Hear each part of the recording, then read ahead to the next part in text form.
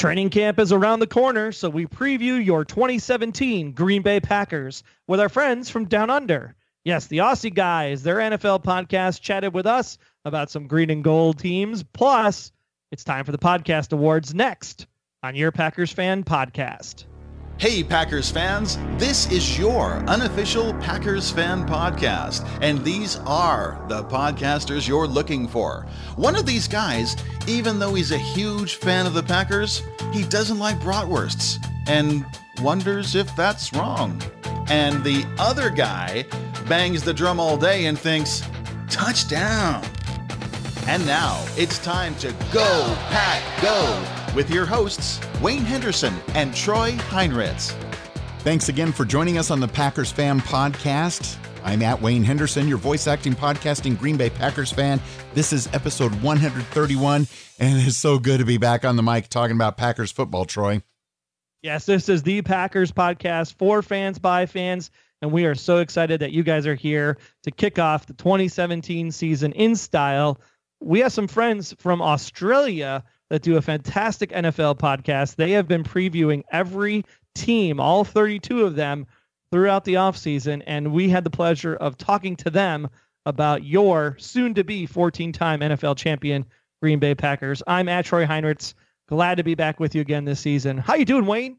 I am doing well, patiently waiting for football season. It's finally less than 100 days away. So, you know, it, the end is near and football will be here.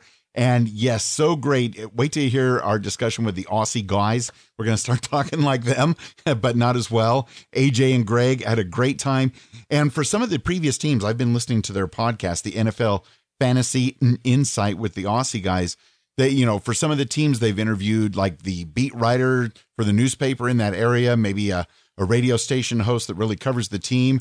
For the Packers, I'm honored that they selected us from the Packers Fan Podcast to represent the green and gold. Good times. Good times indeed. I'm going to be heading up to the uh, Cincinnati game this year, Wayne, for my Milwaukee package ticket. And I actually have a another first timer traveling with me. Unfortunately, he'll be wearing the orange and black uh, since he is a Cincinnati fan. But uh, it was his 40th birthday recently, and thought, hey, you know what? 40th birthday present. Everybody should go to Lambeau Field. I think there's going to be a conversion taking place I at that field. absolutely think there'll be a conversion that day, especially when we whomp on the Cincinnati Bengals. That'll be fun. That's going to be a great game to go to. At the beginning of the season, there's a lot of marquee Packers games. It's going to be so so good. I I, uh, I hope you have a great time. Where'd you find a a uh, Bengals fan, or just a friend from work, and you realized he's a Bengals fan? Yeah, uh, real life work actually. So my real job. I've known this guy for a while. Uh, he's basically a, a, colleague at another company. Actually works for a podcasting company, if you can believe it, over there at Scripps uh, Midroll. So uh, definitely gonna have some time, fun hanging out with him and going up to the game. But before we can even get to September 10th, we got to worry about July 1st. That's right. Shareholders meeting is around the corner. Training camp will be kicking off. It'll be interesting to see what all of the draft picks and all of the undrafted free agents are able to bring to the club this year. But before we get into any of that with the Aussie guys, we want to remind you that the pat the uh, podcast awards are actually taking place right now. Yes, the nomination period is open. You guys helped us last year secure a nomination in the sports category, and we're asking you to do that again for us. So if you go to podcastawards.com, at the very top of the page is a blue bar that says nominate. All you had to do is click on that nomination, fill out a little registration form, They'll email you only once just to verify that you are who you are. And then you just fill out your nomination ballot. And what we'd really hope that you do is, of course, pick the Packers fan podcast in the sports category. But if you could also pick uh, the Blacklist Exposed podcast in the entertainment category, as well as Beyond Westworld in the uh, TV and film category, and also the resourceful designer in the arts category. Uh, since Mark Des Cotes, who does the resourceful designer podcast, is responsible for that awesome logo that you're looking at right now in your podcast player as you listen to this episode. Uh, we'd love to shoot Mark some votes. So if you can, resourceful designer in arts, the blacklist exposed in entertainment, Beyond Westworld in TV and film, and of course your Packers fan podcast in sports. You only have to vote one time so you don't have to do the constant voting like we had last year. This year it's one vote. Just submit that as soon as you're done listening. Yeah, you can even pause the podcast go fill that out and then come back. But yeah, as soon as you're done listening, fill out that nomination form. We greatly appreciate it. Podcastawards.com. It's going to be fantastic. And because of that, we're bringing you this special episode before the season even starts. Yes, and we want to thank you again for all of your support last year in the Podcast Awards. It was great to be a finalist, honored to do so with uh, your help. And if you could do that again, it'd be fantastic. As you'll see when you go to the podcastawards.com in the sports category, there's just a few of fan podcasts. And it would be a shame if those Seahawkers got into the finals, but not the Packers fan podcast. They're great friends of ours as well. We're going to be seeing at least one of them at the Podcast Movement Conference. So let the Packers Fan Podcast represent. We're the only Packers podcast to be in these podcast awards this year. And this could be the year. It'll be great times. And between now and, you know, training camp and uh, Troy, are you heading up to the owners meeting this year or uh, stream it live again? Ever since they started streaming it, it just seems easier to kind of hang back and watch the stream. To be quite honest, um, but I am I am ordering a bunch of shareholder material off of the Packers Pro Shop. So definitely, if you have your control number, make sure you use your control number to go to the Packers Pro Shop and get your shareholder merchandise. Some really great stuff in there this year. And they only sell it that one day, correct? Uh, up up in the Pro Shop, yes, but you can buy it from the website at any time as long as your uh, shareholder control number is used. Oh, okay, cool, cool. Because yeah, I got a cool cap and shirt last year, and people are like, "Owner," it's like then I get the pleasure of telling them the whole story about the Green Bay Packers. You'll hear more about that with our discussion coming up in just a minute with the Aussie guys. Yeah, and we should let everybody know too that the Titletown district, uh, the brewery, I believe, is going to be open by the time training camp starts, and the hotel is going to be right around the corner uh, there at the Kohler Lodge. And by the time season starts in September, uh, the majority of the Titletown district will be up and running for all the festivities. So it's going to be fantastic to have the park there. Uh, the kids can play on the playground, the area, the, the football field, uh, acreage, uh, where you can set up some tents, do some cookouts and whatnot. So Titletown District's coming along. It's going to be a really, really fun time to be up in Lambeau this year. I cannot wait to make it back up to Lambeau and check out all of that. It, it, if I could talk my wife into it, I would move there. Uh, you know what? There's actually going to be houses that you could purchase in Titletown District that'll be going up for sale. I would love to have one and I'm sure that is much cheaper than California. yes, that's for sure. Uh, well, with that, shall we go ahead and turn it over to the Aussie guys uh, and learn more about what's going on with the Green Bay Packers and actually what, you know, they're not Packers fans necessarily. So we have some uh, pretty spirited uh, moments during the episode. Yeah, you might even hear a Falcon fan on the other side of the line, and he definitely rubs it in for us for that NFC championship game. But don't worry, we get our fair due back at him at the end. So And what's funny is I don't think I've ever met a Falcons fan, but now I talked to one and he's all the way on the other side of the planet. There you go. That's where they belong. With that being said, here's the Aussie guys and us talking about your 2017 Green Bay Packers. Hello and welcome. We are the Aussie guys. I'm AJ, and here with me is G. How are you, G? Good. On a cold Melbourne morning. Sunday morning. Yes, uh, it is a cold Sunday morning. And but look, we don't mind. We get up nice and early. It's uh, now our guests are certainly now if they were based in their home city. Man, it could This- get cold there. Oh no, this is not cold to them. The frozen tundra. They're probably yeah, out well, in t-shirt and shorts. Uh, yeah, that's with right. Our weather. That's with right. Winter anyway. You're in kind of you're in more sensible cities, boys. But uh, yeah, we have the we have the guys from the Packers fan pod, and we're really stoked to be able to chat to these guys. We've got Troy and Wayne on the line. How are you guys? Doing well. Thank you so very much for having us on. We've been looking forward to this for quite a while. And, you know, football season cannot get here soon enough. And you know, it is uh, Game of Thrones premiere weekend here in the United States. So winter is coming, even though it is summer on this side of the globe. It is a, that could almost be a byline for the Packers season. Winter is coming. Yeah, yeah, absolutely. My co-host is uh, well, he he knows nothing of Game No, of Thrones. ne- I think never watched one second of it. He's the only person in the in the Western world that hasn't actually watched it. I think I've said to him that what he should do is wait till the entire thing is finished and then just watch it all. Because what the pain of actually waiting between each season is is excruciating. Uh, so if he hasn't started, maybe he should just wait till the very end.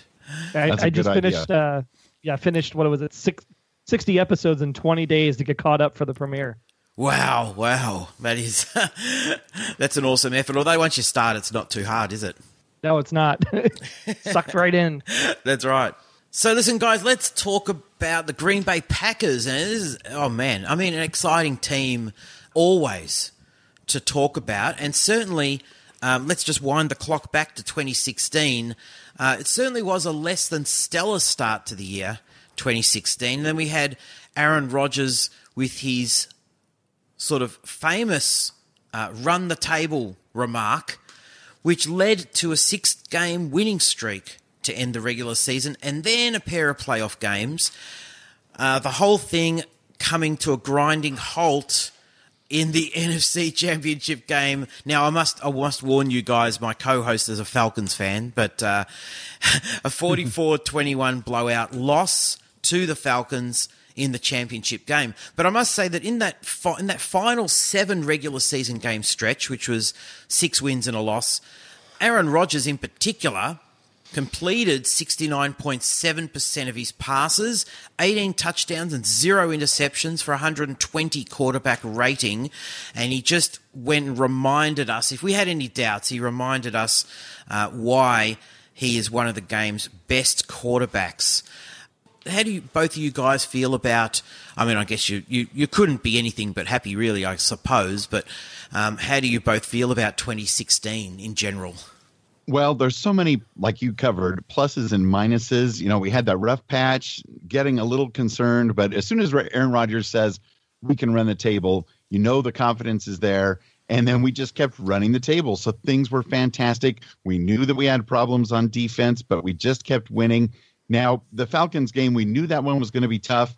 We did not expect for it to fall apart the way that it did. But uh, like Aaron Rodgers said in the post-game press conference, we just need to rebuild and you know not start from scratch, just retool a few things. And I think we're better than ever now. And just what a horrific end! Because as a Packers fan for over 30 years now, you just expect these days. You expect Super Bowls, you expect playoffs, and we're kind of spoiled. Nothing less than that, and it's bad times. Yeah, it's it's really shocking when you think about the fact that we have four division championships and six it goes and eight straight playoff appearances. You would expect at this point to have at least two, maybe even three Super Bowls. So to come into that Falcons game and just know that our defense, for what it was, was just a, a porous sieve at that point. It, it was a it was a long afternoon to be able to go out after just having such a dynamic season, especially coming off that Dallas game in the playoffs when Jared Cook caught that tiptoe at the sideline. I mean, it was just magical to see what they were taking on in the playoffs. And you thought you might be able to pull it out against the Falcons, but you know they are a, a stellar team, and Julio Jones, if he's on, he's on. And it, it was really interesting. They had a stat that came out after the end of the season that it's not that Aaron Rodgers. It, they were talking that Aaron Rodgers is is the Peyton Manning. You know, he like he can't can't win the Super Bowl. He can't get over the hump. He got the first one, and now he can't get back there. But it's really the defense that's been the issue because when you look at the losses the Packers have had in the playoffs, he's going up against like a 32 point deficit average that Aaron and the offense has to overcome. So really, it's the defense has been the, the crux of our pain over the last five seasons, and really we're hoping that that's going to be corrected this year. I'm glad you brought that up about the um, only having one Super Bowl with Aaron Rodgers there. Now, Mike McCarthy's coming for a lot of criticism as well with his play calling when he's in front.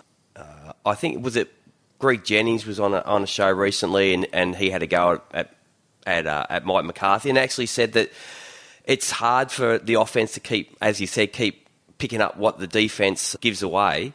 But with leads, he, he made the comment that he's not he's not Bill Belichick. He's he's not that okay, we've got the throat and let's just grind them into the ground and, and, and, and tear them apart and finish them off. So, uh, how do you guys feel about the, the lack of success that you've had with someone like Aaron Rodgers at, at QB? And, and, what is the relationship between the, uh, the coach and Rodgers at the moment? Because that was a little bit, seemed a little bit icy as well. Well, I mean, when you think about it, it's not that Rodgers is bad and it's not that the the way things have been run has been awful there might have been a little bit of a, a kermuffle in 2015 when we had the play calling switch over uh, to go to Tom Clements and then back over to McCarthy because even 2015 had a little bit of a rocky pillar in there coming off of that, you know, stellar Seattle Seahawks, you know, Packers championship game in 14. I mean, just disappointing that we didn't win that one because I was going to the Super Bowl that year if we did, but it'll be only like five minutes away. It's like, oh my gosh, did that really happen? But the the coaching staff, I think, has really it's really a, a close knit group. I mean, it looks dysfunctional sometimes on the outside, but really, when you think about the Packers organization, it's all about team. And I think whatever has been going on, if there was anything going on, it's been ironed out. And clearly, everybody's on the same page to to do six straight games in a row. To win on any Sunday is difficult. I mean, look at we've beat the Lions for so many years in Wisconsin, and one divot in the field, you know, breaks that streak. So we lose to the Lions in, in Wisconsin soil. So coaching stuff aside, I think this is the year where everything has finally come together. I think we've made some really great acquisitions on the defensive side of the ball.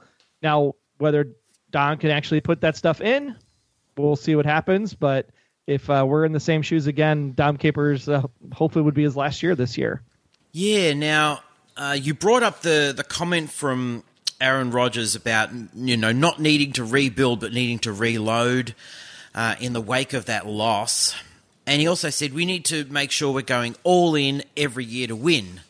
Now, the interesting thing about the Packers is they've never really been a team that gets incredibly active in free agency. Like often, I I feel like the priority from Ted Thompson is often let's sign our own guys. We build through the draft. We sign our own guys. We look after that side of it and build a team that way, which has been like oh, let's let's face it, incredibly successful.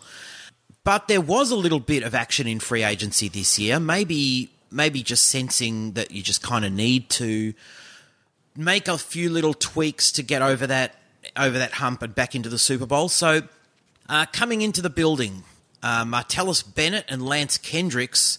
So, adding a couple of tight ends. Obviously, Jared Cook leaving. A D lineman, Ricky uh, Jean Francois, and a guard, Jahri Evans. And also uh, leaving the building, so a few others on the other side of the ledger, I should say. Guard TJ Lang, J.C. Tretter, an O lineman, Julius Peppers, James Starks, and Eddie Lacy. So you know, you know, running back, you know, running back uh, features in your um, on your roster for a few years. Uh, your number one cornerback in Sam Shields, although he had some concussion issues, and uh, and Micah Hyde, who was quite a you know quite a stalwart in that defensive backfield. So there's been a little bit of ins and outs there, guys. How do you feel about free agency? you know, in Ted, we trust. And in the past, like you said, he's done very, very well. But that is a lot of names to lose. To lose Lang and to lose Eddie Lacy, and then not re signing Jared Cook had us concerned for a minute, but I think it was the very next day or shortly thereafter where they brought in Martellus Bennett and putting him and Lance Kendrick, Kendricks out there. We still have Richard Rogers as well. You know, Troy even likes the idea where we maybe we'll put in a two tight end package and our running back, you know, is huge as well. And maybe teams just won't know what we're going to be trying to do. Yeah, the, the the big thing that came up during free agency this year was how do we replace some of that loss on the defensive line? I mean, with the thing that went down, it, it was just sad to see how we are trying to rebuild the secondary, but the secondary isn't any good if you can just run all day on that front seven. So to be able to kind of jerry rig and things that have been going on on the defensive side, I think that's probably where I'm the most nervous this year and I don't think we did enough to secure that front seven on the defensive side of the ball. But when it comes to replacing everything on the offensive side, once again, you know, picking up Bennett, it's going to be huge because I was really shocked that Jared Cook wasn't coming back after, especially the things that he was able to do in that six game streak, which really elevated it with uh, Cook and Montgomery switching to that running back position. So to bring in Bennett, I think it'll be great. We're going to have some really interesting schemes, I think, with the three tight ends that we have and it's still up in the air when you think about what could potentially happen on the defensive front side. Maybe there's enough of a shakeup, you know, with that front seven that we might actually see people starting to sprint through the line with some of the pickups we had last year as they move into their sophomore seasons. Obviously, uh, you sort of mentioned in Ted we trust. The big part of the Packers offseason every year is the draft. And it was quite telling that this year the first four picks were on defense. So you traded out of the first round just a little bit and you picked up cornerback Kevin King. Then Josh Jones, a safety who's looks pretty good. Looks pretty good. outside linebacker Vincent Biegel, and in the third, uh, defensive tackle Montravius Adams. So they, that was the first four picks. And then interesting that you loaded up on running back uh, with, with two picks, Jamal Adams and Aaron Jones. So uh, how do you feel about the draft? I mean, obviously, talking about the draft is is hard. It's very early days, but how do you feel about sort of the the selection of picks and the positions that uh, Ted decided to focus on?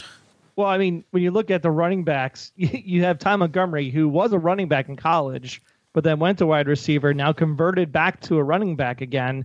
This will be his first full off-season camp where he can get the full scope of what it is to be a running back. So doubling down on the running back position in the draft, I think was absolutely necessary because we didn't pick up a running back in free agency, probably because we didn't want to send the message to Ty that we were thinking about somebody else as the number one. I mean, um, Adrian Peterson's name came up a few times about would he actually come over to Green Bay for a one year type deal. And the good thing that we didn't do that because I think that would just be noise in a locker room, to be quite honest. So to go in with uh, two people that can build behind Montgomery, I think is actually a fantastic thing that we were able to pull off there. I mean, you think about Jamal Williams, especially because it's exactly what the Packers need. Because after his stellar se- senior season year at BYU, it actually shows loyalty to a team. Because when he had the uh, that he had junior year with his violation, uh, being the type of university that it is, I mean, some players would say, "Screw this! I'm going to a different college, and I'll finish my senior year somewhere else." But Jamal stayed at BYU, finished up his senior year there, and that's the kind of loyalty that the Packers organization looks for when they look for players to join the green and gold. So I think, especially with his ability to break tackles, I think that you get Ty running those first and second downs, and then you have Jamal, who's a great third down back substitute who could come in and get those third and shorts. Because if you have third and two, third and three, set up that way that you can have Jamal come through and bust through. It gives you an option then that you can actually get the play action involved on those third and shorts, which could then open up the passing game quite a bit for Aaron Rodgers. When you look at the uh, other side of it, obviously on the uh, on the defensive side, the thing that really was exciting about picking up King is that even though we brought Devon, Devin House back in uh, to the Packers organization after leaving in 2011, who will most likely be the number one cornerback, with um, Gunter being on the other side and then Randall coming out of his slump last season. But the thing that King can do is that he can play both in the slot and probably in the safety position because he did play some safety in college.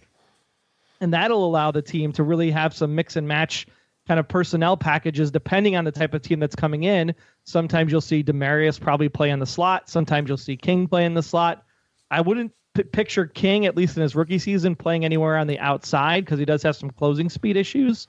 But I think picking up King and then also picking up a safety was uh, the right message to send that our secondary is not going to be to mess with this year.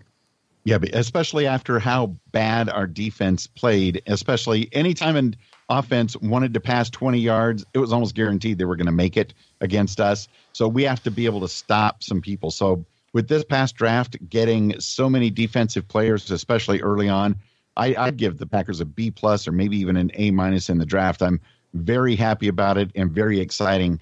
Uh, excited to see some of these guys hopefully even make an impact even on their rookie season.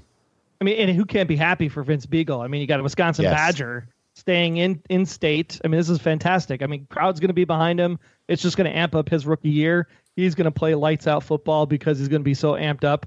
I mean, it's just fantastic whenever Badgers can convert into Packers.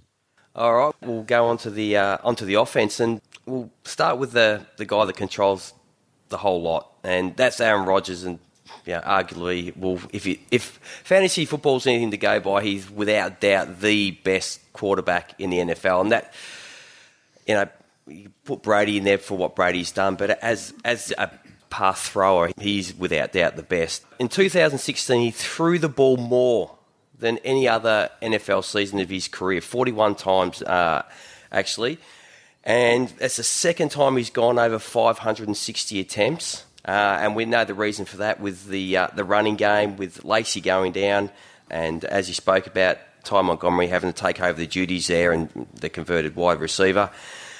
So we've got a full complement this year of wide receivers, running back trio probably now, with Bennett added to the mix season ahead for uh, Aaron Rodgers. Oh yeah, it's going to be another fantastic season, barring any injuries. he's just lights out. And even people that hate the Packers will admit that Aaron Rodgers throws the prettiest spiral they've ever seen. And he just recently, the other night, was uh, named the NFL's best player of the year at the ESPYs. I don't know if the ESPY awards air in Australia or not. And I was kind of surprised that even though Brady just won the Super Bowl again, uh, he beat out he beat out Brady to be the NFL best player of the year. So Aaron Rodgers on fire. I, I always worry that what if something happens? I'm hoping that our backup Brett Hundley takes leaps and strides this season, just in case we need him.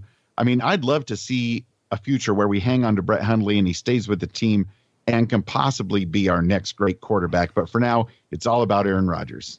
Let's not forget though that even when Aaron Rodgers went down with the broken collarbone, we still won the division that year.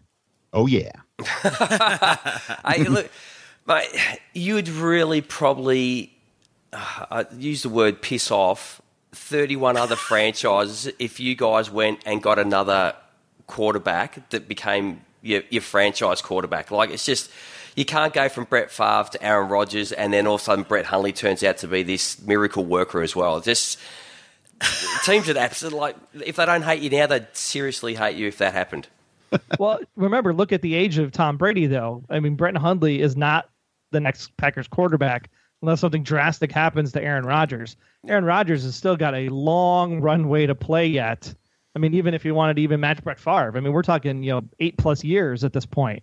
So unless something drastically happens to Rodgers' performance or he just decides to hang up the cleats, Hundley is not going to be the next Packers quarterback. So I would expect to see Hundley after this preseason most likely move or get traded, depending on how Callahan and some of the other guys step up to be that number two. Because we don't want to be in that situation we were when Rodgers went down with the collarbone issue, and then you're like, all right, here's quarterback this week, and then here's the next quarterback the next week, and oh my gosh, what's going on? Those were shocking times. All right, we'll go on to the uh, the O line. So in uh, Pro Football Focus, you're ranked number five, uh, and the best pass protecting line in the NFL. Now, no one holds the ball longer than Aaron Rodgers outside of Tyrod Taylor. So your best pass blocker was um, you'd have to pronounce his last name, left tackle David Bakhtiari. Bakhtiari. Bakhtiari. Bakhtiari. Yeah, Got it. Yeah, yeah. Your uh, your best run block was J.C. Tretter uh, and Dave, David Bakhtiari. Bakhtiari, I'll get it right eventually. Yeah. Uh, was your best overall offensive lineman. Now, he only gave up 20 QB pressures, which is quite funny because actually Aaron Rodgers inflicted 23 quarterback pressures on himself last season. so um, you got right tackle Brian Bulaga, who's a run blocker that needs to improve. Your left guard, uh, Lane Taylor, replaced Josh Sitton again, and, and he needs to work on his run blocking. And then in your draft, you pick up uh, Kofi Amichia, is that right, in the sixth round? So the line pretty much remains the same. Uh, so it's a status quo, basically. So where's the improvement come from the O line, especially in the, in the run blocking game? Well, I mean, when you look at everybody that's there. You still have uh, Jason Spriggs too, who's coming up, you know, from last year's class. So when you think about how this will all shake out, I don't think we have anything to worry about from the offensive line. I think the thing that really is key with offensive lines as the season goes along is that that same core front five stays healthy all year long. It's when you have offensive linemen that go down for two weeks or four weeks or six weeks, and you got to start cycling in things like uh, like a Patrick Lucas or a Kyle Murphy or Justin McCray, that's when things get a little bit interesting. So hopefully we can keep, you know, Bakhtiari, Lane Taylor, Corey Linsley, uh, and Jahri Evans and Brian Bulaga up there on the front of the line, and then cycle in Jason Spriggs and Kofi and I hate to say it, Wayne, Don Barclay every now and then. Barclay, please, please, human, please. The human turnstile. um, but yeah, I mean, it it looks like things will be fine for the the offense is the same offense as it was last year. It'll just be interesting to see how we move the tight ends into the package and what we can do with those tight ends because they're bigger guys and they run down the field a lot faster. So it'll be interesting to see what Aaron does with them. All right, we'll move on to the running backs then, and well, as we spoke about, Adrian said Lacy left. He finds himself now in Seattle. Uh, and and look, he, he, missed most of the last season anyway with uh, being injured. Ty Montgomery took over, and 77 rushes, 457 yards, and only three TDs, but averaged 5.9 yards a carry. Didn't score any touchdowns as a receiving uh, out of the backfield. So you guys go and as we spoke about, you go into the draft and you um, you pick up a couple of guys. Uh, you picked up three actually. You picked up Jamal Williams, Aaron Jones out of Texas El Paso, and in the seventh you pick up Devonte May out of Utah State. So McCarthy's come out and said Montgomery absolutely the starter. Now the Packers finished 20th in rushing last season. So give us a storyline of the Packers backfield for 2017. Well, I think Ty Montgomery is definitely the go-to guy. He proved it in what little time he had in the running back position last year. And like Troy talked on earlier, with the fact that he's had a full off season to get into the running back groove again, I think he's going to be just fine. And of course, the first game of the year will get um, Lacy and the Seahawks out of the way. So it can be the Ty Montgomery show. And I'm expecting more brilliance also from our fullback Ripkowski this season because the Packers, you know, when we've got a good, sturdy bulldozer of a fullback like Ripkowski, good things are going to happen. But I'm glad that we drafted those other running backs because we literally were down to, I think, one person it, it, at the end of last season. So it, the more the merrier. But Ty Montgomery and Ripkowski are going to steal the show. And I know the fantasy teams, people are happy because you can actually play Montgomery as a running back this year. So you can get you double the points on the runs and the catches that he'll be doing out of the backfield. Because remember, he did play that receiver position. So Montgomery is a double threat in a lot of ways. And I think that's the thing that's going to be the most exciting is to see what he can do as far as coming out of the backfield in the passing game and also see how much of an extra run blocker he can be on those five, six, seven, eight, nine second time when Rodgers wants to hang on to the ball for half a quarter. Yeah, uh, it'll be it'll be great to see if the pass blocking is actually up to par uh, when all is said and done. But I think Montgomery is going to be absolutely fantastic this year. I am super excited. And you know what? If the if the best stat coming out of this season is going to be zero percent on fourth down conversions and zero percent on third down conversions, I'd be okay with that because zero percent when you don't have third or fourth down is fantastic because 5.9 yards a carry that's second down only. I'm good with that all day long. Well done, Troy. Listen, uh, I, as a as a non Packers fan, the impression that I get about Mike McCarthy is that he, in terms of his style of play, he's quite old school. I mean, you're you're one of the few teams that has a fullback, and I feel like Mike McCarthy is the guy that would like that pounding. Well, like Eddie Lacy, like that once that three down pounding through the middle of that line running back. And that's the, he's really old school in that regard. And so it sort of seemed at times like he didn't really want to use Ty Montgomery, despite the fact that Ty was so successful, as you said, like 5.9 yards per carry. So it seemed like there's a little bit of resistance from resistance from Mike McCarthy. Did, did you guys get a sense of that, or um, how do you feel about that in general? That's an easy answer. He was the only running back. so yeah, if I'm the coach, I'm absolutely going to be very conservative with that because I don't know what's going to happen. He goes down, he gets hurt, plus he's not, you know, he hasn't practiced and prepped at that position during a full off-season cycle, so he's not bulked up to the right weight and that sort of thing. So I don't think he was protecting him by any means from the sake of I wasn't sure if he could actually do the job. I think he was protecting him because he had nobody else to run. Uh, I think you're going to see a lot of smash mouth football this year. We went big on the tight ends for that reason. Ripkowski is a great lead blocker, just like Kuhn was before him. So I, I really expect to see that this year you're going to really see what these wide receivers can do because the passing game only works if the running game exists. And hopefully, if we get enough of that offensive magic this year, maybe McCarthy will pull over a little bit of that Bill Belichick mindset and you know put his foot down on the throat of opponents because there's nothing like watching your team just take the second half off to make you pull out all of, all of your hair go back, go back to the 2011 season when the Packers were 15 and one, and take a look at Aaron Rodgers' uh, hold times in the pass passing game at that time versus what he does now. He's holding onto the ball longer because he has to make something happen in the passing game because there is no separation and there is no distance because they everybody knows we're going to pass because they, there is no running game. If you go back and look at the running game in 2011 and what Aaron was able to do to get the ball out of the pocket in a one or three step drop, and boom, that ball's out, and then let the receivers do the run after the catch to pick up the yards. I think that's the kind of offense you're going to see out of the Packers this year. Oh God, I hope not. So Matt Ryan's coming for you, buddy. coming for you. So look, we'll go we'll go the wide receivers and, and their passing game. So Jordy Nelson, I don't think we really need to discuss Jordy Nelson. The guy, the guy's an absolute star, and he comeback player of the year, ninety seven catches, twelve hundred and fifty seven yards, fourteen TDs, the league's best. Then you have behind him the surgeons of Davante Adams with 75, 997, and 12 TDs. I mean, he had five 100 yard games. And then the, the, the poor guy at number three, Randall Cobb, which showed so much. He's been hit by injuries, you know, some poor form, trying to, hopefully for you guys, trying to recapture that 2014 season. And then behind him, you just got like a slew of, of guys uh, Jeff Janis, uh, Trevor Davis. Geronimo Allison, um, Max McCaffrey, uh, who was actually on the, the starting lineup for that title game against um, NFC title game. Who was that against? Um, do you guys remember? No. No, No. I'm sure it was the third team because we lost. we always lose to the bird teams. well, I can guarantee. When, Cardinals, Seahawks, Falcons. well, I, I can guarantee when we have our team preview with the um, the Patriots, uh, this room will be very quiet. Um, from, from one half of it anyway.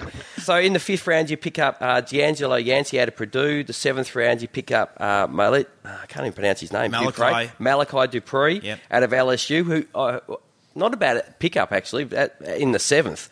And you got a couple of undrafted free agents in Michael Clark, Montay Crockett, and uh, Colby uh, Pearson. So how does the uh, outside of the, the top three guys, obviously, maybe you could, you could talk a little bit about their seasons. Probably Randall Cobb would be one that people want to know about, and Davante Adams if he can keep it going. But just just the whole receiving core in general, and, and who's going to who will make it and who won't. Well, I honestly think that it's mainly about those top guys. I mean, it's great to have an embarrassment of riches and picking up some extra wide receivers in the draft because you just never know. And Aaron Rodgers has shown time in and time out how he can make almost any wide receiver or tight end a star. So it's all about the the main guys, and I hope we can keep as many as we can. Troy does the best with the mathematical side of it of should we keep this many wide receivers when we cut down to 53 or should we go with more you know fullbacks or tight ends or whatever but I, I think it's great that we have so many to just vie for the job because who doesn't want to be a wide receiver for the green bay packers and aaron rodgers Yeah, and, and Geronimo Allison was really a big step up from last year. So I would take a look at Allison and, and Jeff Janis. This guy, I mean, the, the fans love Jeff Janis for some reason. In in uh, preseason, especially, he is just a 100% showboat out there. So the fans just love Jeff Janis. He did catch one of those like really crazy hail mary passes. So he, he, he- he sticks around, and you never know what's going to happen with Janis. He could be this year's breakout star. So, but uh, Geronimo, Geronimo Allison is if if Cobb can't pick, get back up into the swing of things uh, like that 2014 season, Geronimo Allison will certainly be there this year.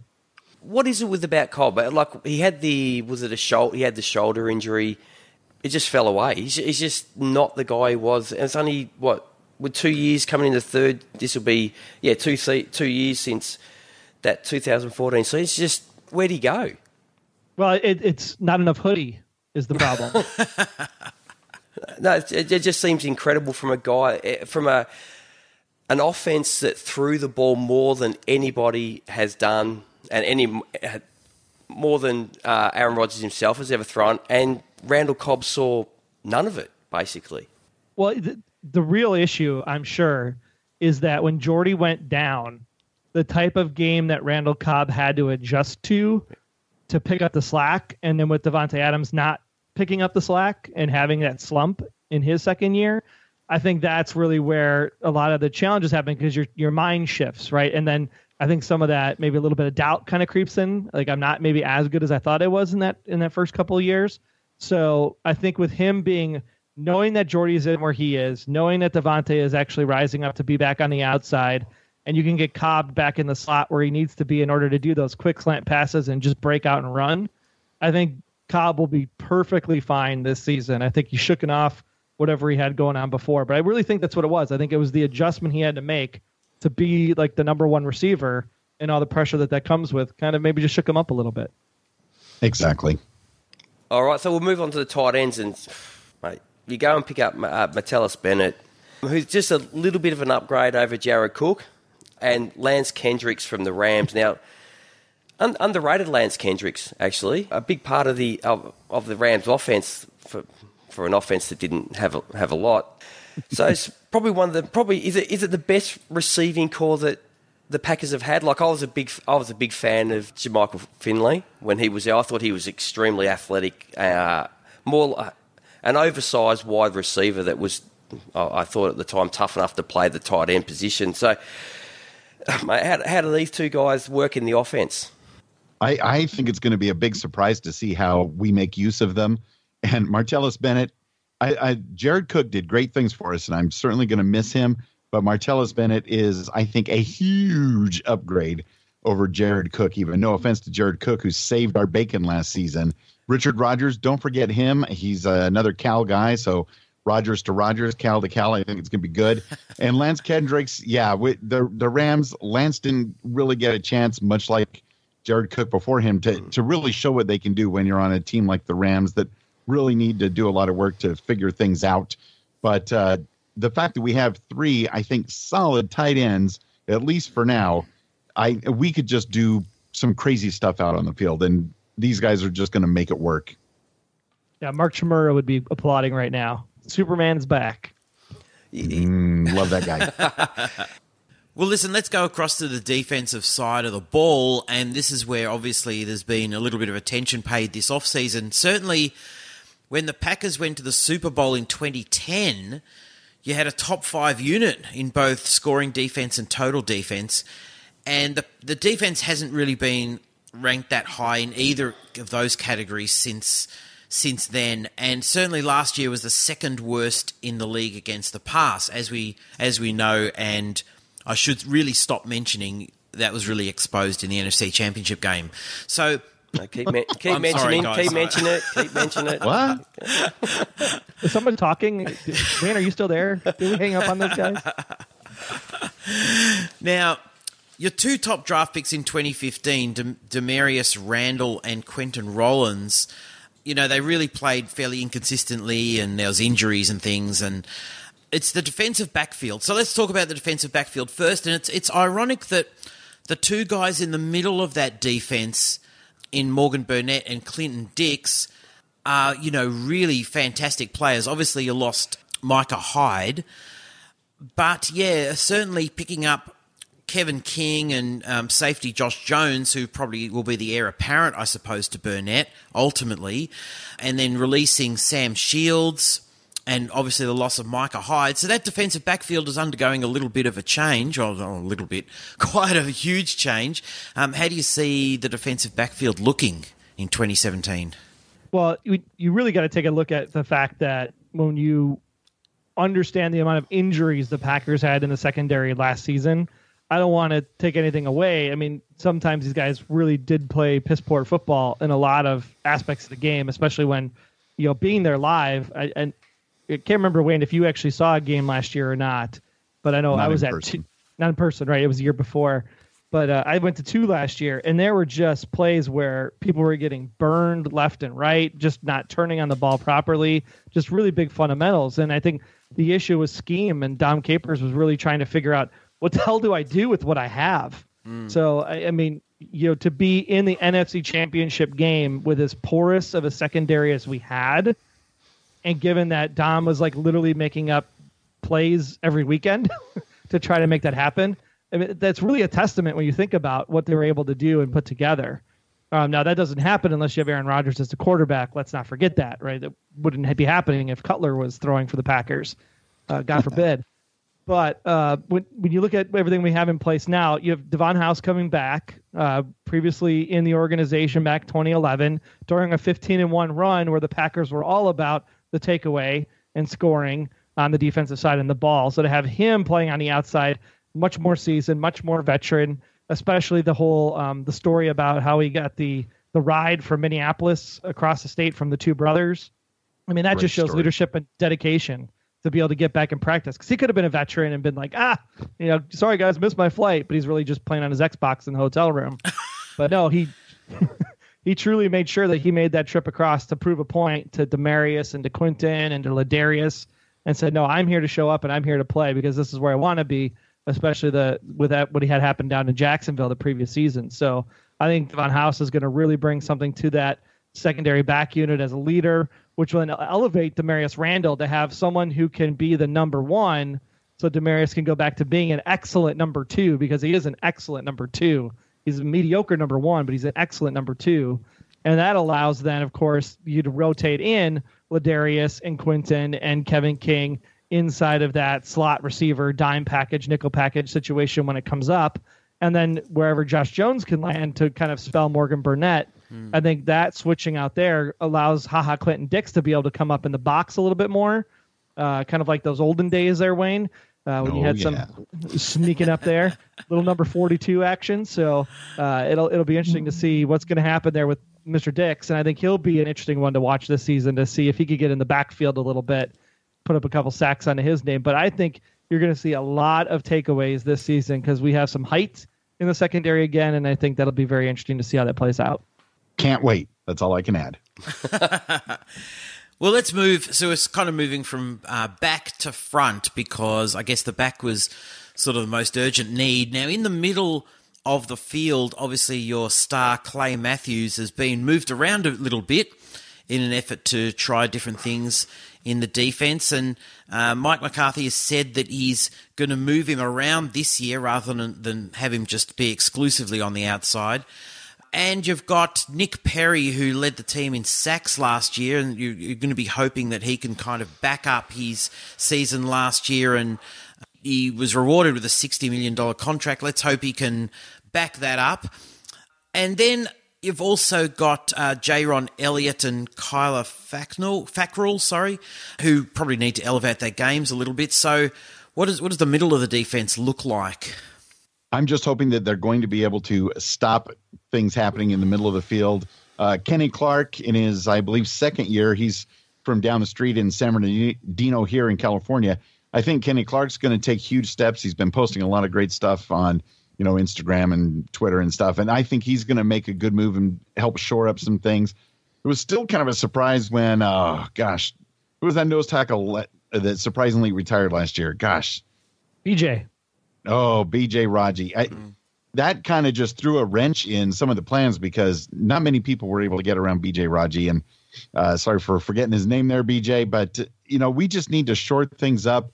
If we can keep things up in the front, uh, we did fairly well at least a year ago and some last season at stopping the run. It was those passes 20, 30 yards down the center of the field that really gave us trouble. And that's because of the pass uh, pass rush. Like pass rush last year was almost non-existent which is also the, then exposed the secondary because you can't stay with those receivers forever. Mean, they're top notch receivers. They're going to get open eventually, given enough time. So when you go back to when Raji was on the team and you had Clay Matthews playing in the middle as the middle linebacker position, I think that was really interesting because we were stopping a lot of runs between Matthews and Raji in the middle. So if we have a, a good performance uh, coming out there from uh, Christian Ringo there at the nose tackle this year, I think that would be interesting to see Matthews move back to the inside, quite frankly, and let these guys with the speed like Fackrell and um, Nick Perry and uh, Jayrone Elliott get out there and do some damage because I think it'd be really, really fantastic because with with that middle linebacker position, you need the speed to go left to right to stop the run. And Clay still has the speed. He just might not have the breakthrough tenacity that he used to have to be able to get through the the offensive line to the quarterback. So I'd rather have him use his speed side to side to be able to stop the run and plug the sweeps if it happens. Moving to the defensive line, uh, I mean, Mike Daniels is obviously the anchor of that, and but he but he needs a bit of help. And you did already mention uh, last year's first round pick Kenny Clark, who needs to step up, and uh, Christian Ringo so where I mean, the pass rush is really coming from the outside and from the the linebacker core, but the D line, how is that shaping up? Well, I, I think you're going to see a, a, big shift this year. I mean, when you have things like a Daniels and a Christian Ringo and a Kenny Clark being in there, you really have the ability to wreak some havoc. And I think understanding what they're going to be able to do to push through to get into that second level past the offensive line really is helped out by the fact that you have Dean Lowry and Montravius Adams, uh, even maybe Reggie Gilbert back there or um, Ricky uh, Francois. You, when you think about what they're able to do as far as spelling these guys and having a fresh front three uh, the entire time, that really is going to be a big help because before we just didn't have the depth that we needed to, especially at the defensive end position last year. I know Wayne and I talked about it in our draft episode in in, in 16. Like, really, we're only keeping like four defensive end or four defensive line people. Uh, that just seems like a bad move. So hopefully, with the the depth that we have now, maybe they'll decide to keep a few extra defensive linemen uh, when we get down to the 53 come Labor Day. So that pretty much wraps up, uh, wraps up our um, our positions and all that. But I just want to ask you guys about the actual the franchise itself. Now, it's very unusual. The franchise um, in Green Bay is that it's a a fan owned team, which for us here in Australia with our with our football, uh, they're all fan owned teams.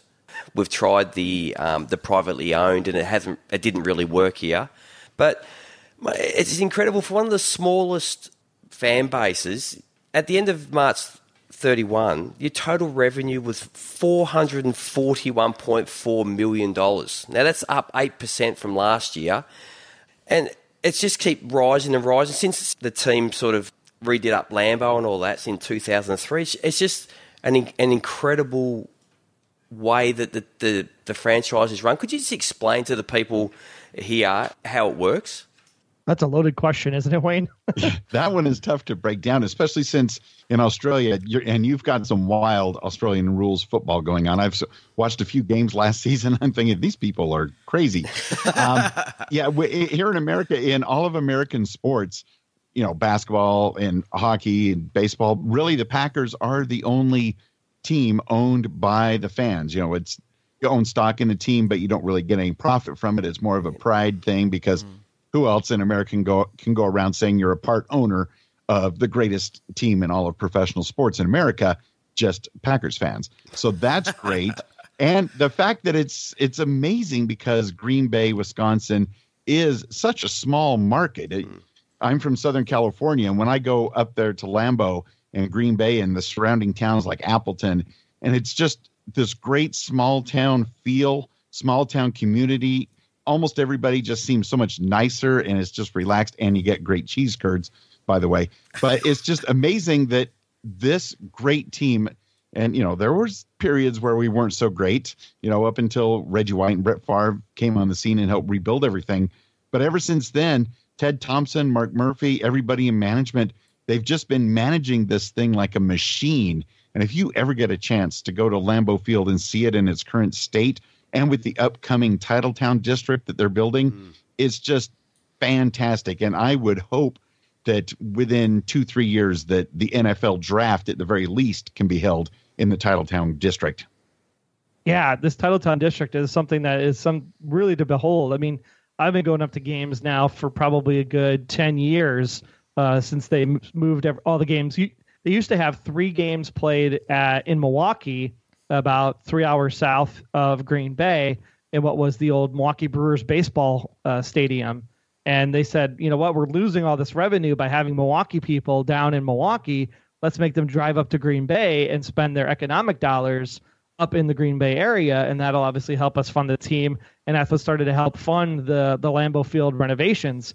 I mean, to be over eighty thousand seats now with the addition of the new South End Zone and the new scoreboards and extra uh, uh, press boxes and sky boxes and suites. I mean, it's just it's still core football on inside the bowl. You're still sitting on a metal bleacher on concrete, uh, and, and, and people will joke, right? They'll say we don't, we just we didn't know how big people were going to be in Wisconsin. Some people are a little bit larger because they eat a lot of meat and cheese. Some people just wear lots of extra clothing because it's pretty darn cold up there in, November and December. Uh, but it's just it's really fun to sit up there at Lambeau Field and watch a game, and now to be able to extend that uh, basically west of the stadium back towards the freeway. It used to be all rundown commercial, like Kmart and and uh, Walmart and uh, the, all these like going out of business places. You know, they're getting put out by the online retail. So to buy all that to have the cash first of all to be able to buy all of that out and literally own everything from the stadium to the freeway and then to now entice people to come in and build inside what is now Titletown District, which just unveiled this logo uh, just recently. I mean, there's going to be a brewery there. There's going to be a hotel there, the Kohler Lodge. They're actually building um, a 35 acre uh, site. They're going to have a sledding hill and an ice skating rink. So literally, you're talking about Packers fans can come up and enjoy the area all year round. Now, we thought that was exciting just with the atrium being built, that you can come to the Packers Hall of Fame and and the 1919 restaurant and take part in everything that goes on there with the pro shop uh, and, and the stadium tours. But now you can go literally just outside the stadium and go sledding and ice skating. And I mean, it's just going to make this a year round attraction. And then uh, what people don't know is that the, the town line of Green Bay is literally right there at the stadium.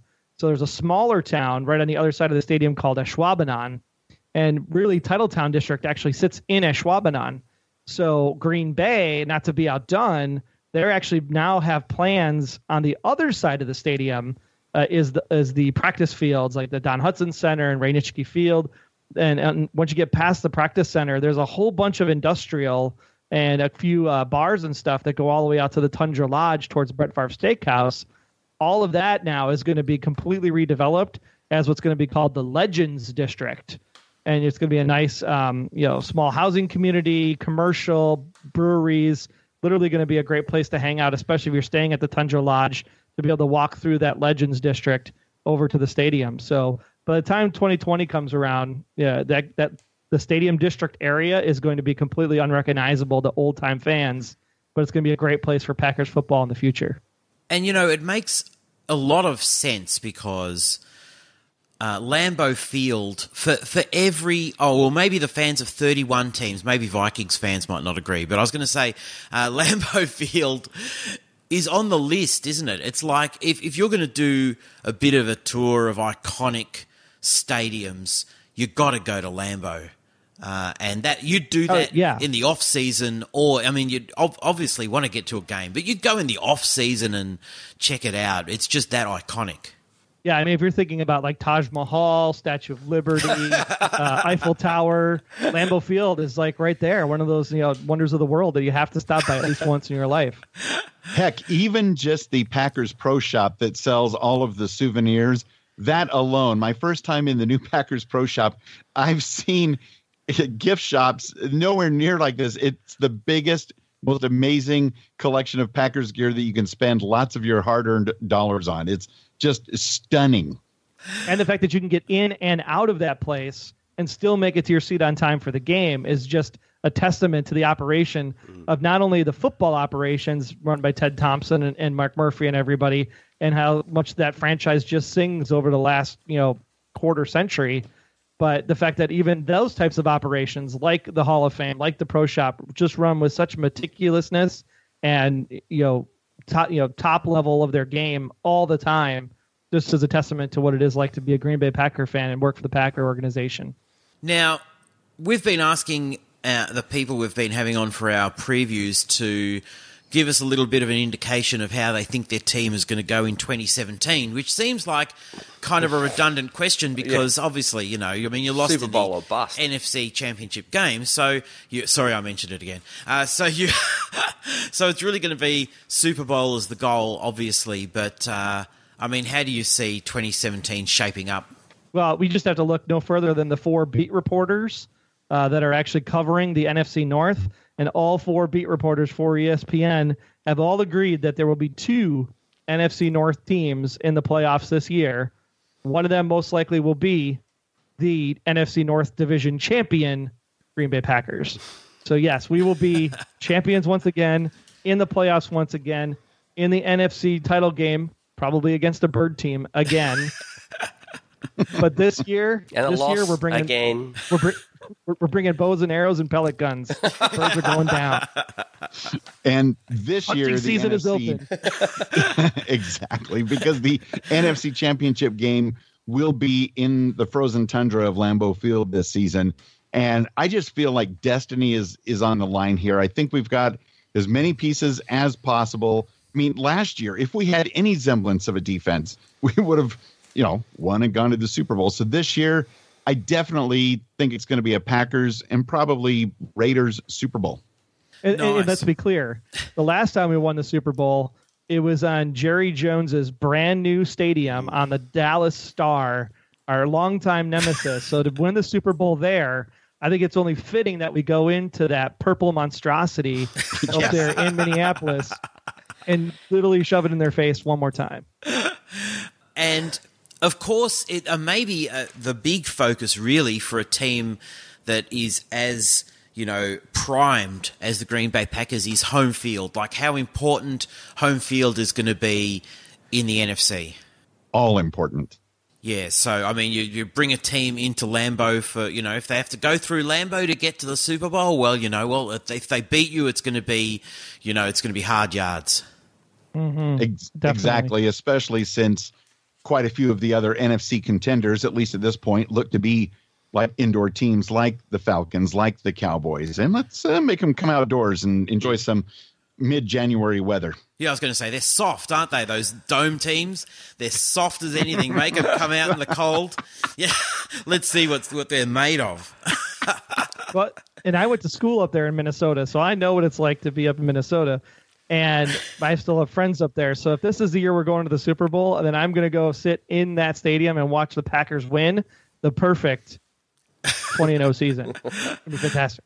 Now, another a, a thing we've really been finishing off our team previews with is been has been asking our guests to nominate uh, what we're calling a step up player, which for you know you can frame it any way you like, but really a player that needs to step up their game in 2017. You guys can nominate one each if you'd like, or you could sort of go one on the offense, one on the defense, or you, you might have a consensus guy. But um, who do you think that might be? Uh, I'm for curious to see who Wayne picks. Yeah. because I'm sure we both have totally different choices, which is fine. I'm going to go with Kenny Clark. He had a lot of promise coming out of college, and I, I think that uh, he is doing the work and is going to be the step up player, at least on defense this season. I'm shocked because that is exactly who I was going to pick. Oh, my. yeah, I think I think this year the Packers organization is going to live and die by that front seven on the hmm. defense. I think we did enough to actually secure the secondary, and if there's anybody that's going to do it, it's going to be him. He's got to have a real breakout season this year. It's going to be absolutely fantastic. Now, if only we could get the quarterback position a little bit better. Oh, Yeah, absolutely. 50, 50 touchdowns this year, or bust. If Rodgers can play us, if he if he plays the whole year like his second half last year, God. wow, the whole I mean Oh, the league is in a Watch lot of out. trouble. Yeah. but it just goes to show what he's capable of, doesn't it? I mean, two-time MVP for you know, I mean, obvious for obvious reasons. exactly. Well, it's been fantastic chatting to you guys. Uh, we've been chatting to Troy and Wayne from the Packers Fan Podcast, and I'd encourage you to gr- jump on and uh, certainly you can give them a follow at Packers Fan Pod, and you'll find links there to their actual podcast. And you're a great listen as well, guys. And it's been fantastic chatting to you. Thank you Yeah, so and I- very much for having us on. Great time. Yes, totally love it. And I just remind everybody out there to make sure you check out Packers.com and get involved with the fan community. There is a Packers bar everywhere in the world. So if you're looking for a place there, anywhere in Australia, Europe, Russia, doesn't matter. Uh, just go to packersanywhere.com or packerseverywhere.com. I can't remember which one it is, but check that out. You will find a Packer bar in at least every country for sure. Nice, and there's a big following. Uh, I, I mean, there is a worldwide following for the Packers. I mean, a lot of Packer Packer fans here in Australia. We've got a lot of listeners in the UK. There's a big Packer following there. So yeah, worldwide. Absolutely. And whenever I go to, because I'm here in Southern California, if I go to a Chargers game when they're hosting the Packers or a Rams game and they're hosting the Packers, it is a thing of beauty to see the stadium turn into Lambeau West and be approximately 50% or more green and gold. And in fact, not this coming season, but the following season, the Packers are coming back to LA to play the Rams. And I don't think they're going to know what hits them. It's just going to be beautiful. Nice. Our football team will travel. Nice, nice. Oh yeah, look, that was that you you do bring up a good point because the pack of fan base seems to be one of the ones. I don't know if there's any really solid stats on this. There probably is somewhere, but seems to be one of the fan bases that travels really willingly. you know, you can you can be sure that you know most home fields for teams will have a decent, if if not as you said, like in some markets like LA or Southern California, you'll have like a really significant Packer presence. That's because all the San Francisco people that were Packers fans migrated from San Francisco down to LA. they really wanted to support the team after they were getting their butts kicked up there every year. well, listen, guys, we've we've had you on the line for a long time, but it's been fantastic chatting to you, and uh, uh, obviously it was it was tricky working out the timing because um, both of you guys are on different time zones, and obviously we're a long, long, long, long way away. But uh, it's been well, well worth it, and uh, it's been fantastic. So thank you very, very much. That and remember, winter is coming. Go pack, go. Thank you, Troy Wayne. We'll let you go, and uh, hope you uh, hope you guys can make it to Mercedes Dome, Mercedes Benz Dome, this coming playoff. If you can get up there, that down there, that'd be great. Thanks so much, guys. All the best. All right, hope you enjoyed that. That was our Green Bay Packers preview with the guys from the Packers fan podcast. They were fantastic, weren't they, G? Very cocky. well, you can be yeah, when you are a Packers fan. Uh, you can. Well, yeah, well, when you have Aaron Rodgers at quarterback, you can, you can afford to be. Every year's a, a year to look forward to, isn't it? Really. And the receiving corps that they have this year is just yeah outstanding. And look, they're a likable team. I mean, you can't. I don't begrudge them that. I like watching the Packers. How well, can the, you not wa- like watching Aaron Rodgers?